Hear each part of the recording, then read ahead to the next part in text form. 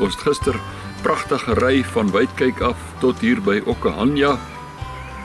En nou vanoggend drink ons nou koffie hierso by Ombou Ruskamp. 'n Lekker kampie ehm um, wat 'n uh, bietjie uh kleinerig is, maar hy het drie mooi ablusieblokkies waar ons ons eie ablusieblokke kan gebruik en uh hy het krag, hy het gras waarop ons kan kamp En ons was baie verbaas om naby aan die kamp 'n leeu te hoor stuur. Tipiese leeu stuur. En uh, nogal bietjie benoud geweest dat dit so naby ons is.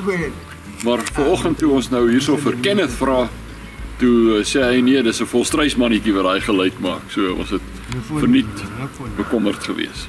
Ons beplan om vandag na Rooiskamp naby uh, Grootfontein te ry. Dis so 400 km.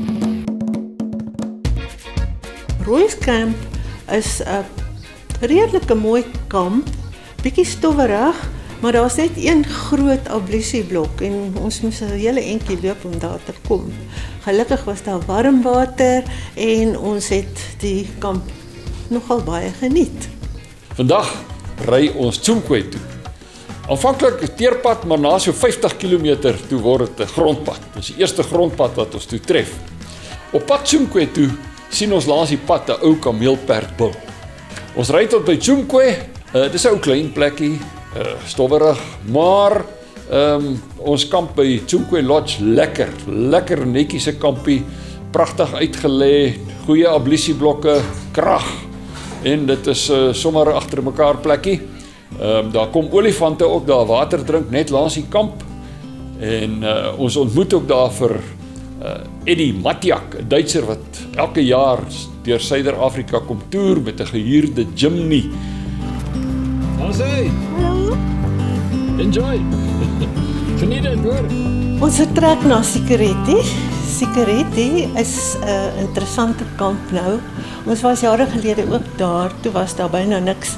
Nou is dit nie opgedoen. Daar's pragtige ablusieblokkies vir elke kampplek. Daar's eintlik net 4 kampplekke en um, die mense ontvang ons baie vriendelik daar. Daar moet egter 'n bewaringsfooi betaal word. Die bewaringsfooi is R350 per dag en die kampfooie is R250 per persoon. Nogal duur. Ons het baie lekker daar gekamp Laatmiddag maak Oscar 'n lieflike vuur van groot stompe wat hy met toestemming daar iewers bymekaar gemaak het.